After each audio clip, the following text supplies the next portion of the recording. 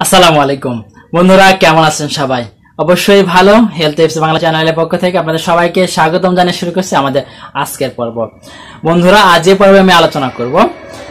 দাঁত ব্যথা হলে কি করবেন? হঠাৎ করে দেখা গেল যে রাত্রে বেলা আপনার দাঁতের ব্যথা শুরু হয়ে গেছে।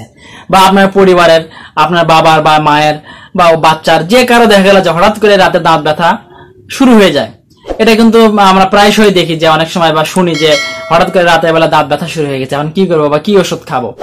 হ্যাঁ যদি দেখা গেলো যে বাথের বাসায় কোনো ধরনের ওষুধ নাই বা প্যারাসিটামল জাতীয় কোনো ট্যাবলেট নাই বা এটা জাতীয় কোনো গ্রুপের ট্যাবলেট নাই, অর্থাৎ ব্যথার কোনো, ব্যথানাশক কোনো ট্যাবলেট নাই, সেক্ষেত্রে আপনি বাসায় কি করতে পারেন বা কি করবেন?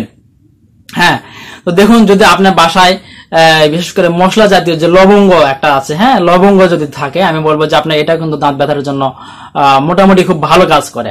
আপনি জাস্ট লবঙ্গ দুই তিনটা নিন, এটা ভালো করে চাবান অথবা থেতো গ্রহণ করে যে জায়গায় ব্যথা সে জায়গায় ধরে রাখুন অথবা সেই জায়গায় দিয়ে মুখ বন্ধ করে আপনি ঘুমিয়ে পড়ুন জাস্ট ঘুমিয়ে পড়ুন। দেখবেন যে আপনার ব্যথাটা অনেক অংশ কমে গেছে বা আপনি আরাম পাবেন। যদি লবঙ্গ না থাকে, কালিজিরা তো আপনার বাসায় আছে, ইনশাআল্লাহ। যেহেতু কালিজিরা, আমরা জানি মধু কালিজিরা মৃত্যু ছাড়া সকল রোগের মহৌষধ আশা করি সবার বাসায় কালিজিরা আছে। যদি না থেকে থাকে, তাহলে অবশ্যই আমি বলব যে কালিজিরা আপনি বাসায় রাখবেন এবং অন্তত দিনে দুই তিনটি করে কালিজিরা খাওয়ার চেষ্টা করবেন, ইনশাআল্লাহ। তো দেখুন, কালিজিরাটা কি করবেন? একটু পরিমাণ মতো কালিজিরা নিয়ে এটা ভালো করে চাবাবেন। চাবানোর পরে ঠিক যে জায়গায় ব্যথা যদি ডান পাশে ব্যথা হয় উপরে অথবা নিচে, তো ঠিক সেই জায়গায় জিব্বা দ্বারা ওই ওইখানে নিয়ে গিয়ে জাস্ট ওইখানে রেখে আপনি ঘুমিয়ে পড়লেন। কালিজিরার পেস্টগুলো যেগুলো আপনি চাবাইলেন কিছুক্ষণ পূর্বে।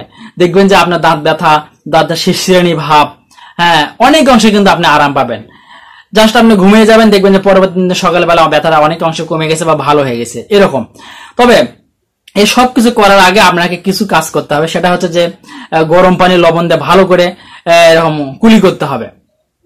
যে জায়গায় ব্যথা যাতে পরিষ্কার হয়, অথবা হাতে একটু লবণ নিলেন, লবণ, সরিষার তেল নিয়ে যে জায়গায় ব্যথা জাস্ট সে জায়গায় এরকম ধরুন একটু মালিশ করুন, আস্তে আস্তে যেন সিলে না যায়।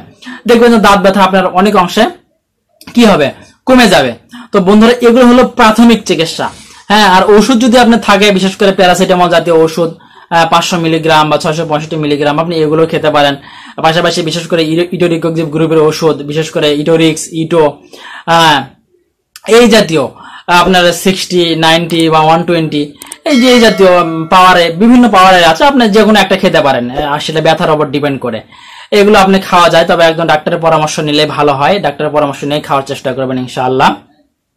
তো এই যে এগুলো করার পরে যদি আপনার দাঁত ব্যথা ভালো না হয়, তাহলে অবশ্যই কিন্তু একজন আপনাকে ডেন্টিস্টের কাছে যেতে হবে এবং তাকে দেখাইতে হবে, দাঁতের আসলে কি কারণে সমস্যাটা হচ্ছে। আমি যেগুলো বললাম মানে প্রাথমিক। আপনার হয়েছে জাস্ট আপনি কি করবেন? যাতে আরাম পান এই জন্য কিন্তু এগুলো বললাম হ্যাঁ? এগুলো কিন্তু ফুলফিল চিকিৎসা না। চিকিৎসা নিতে গেলে আপনাকে অবশ্যই একজন বিশেষজ্ঞ ডাক্তারের কাছে যেতে হবে, বন্ধুরা। তো দাঁত ব্যথা নিয়ে এই ছিল আমার আজকের ভিডিও আলোচনা বিষয়। আশা করি আপনারা বুঝতে পেরেছেন। যদি ভিডিওটি ভালো লেগে থাকে, তাহলে অবশ্যই লাইক কমেন্ট এবং শেয়ার করতে ভুলবেন না। দেখা হবে পরবর্তীতে নতুন কোনো ভিডিও দিয়ে নতুন কোনো টপিক নিয়ে। সেই পর্যন্ত সবাই ভালো থাকুন, এই প্রত্যাশা। আসসালামু আলাইকুম।